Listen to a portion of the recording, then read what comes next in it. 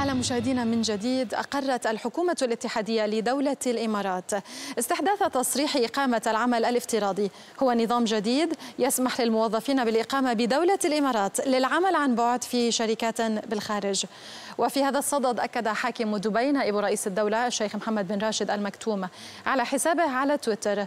أكد أن تأشيرة العمل الجديدة ستغطي مثل هذه الأعمال المتخصصة بالإضافة إلى أن الحكومة أقرت أيضا تأشيرة سياحية طويلة الأجل ومتعددة الدخول لجميع الجنسيات.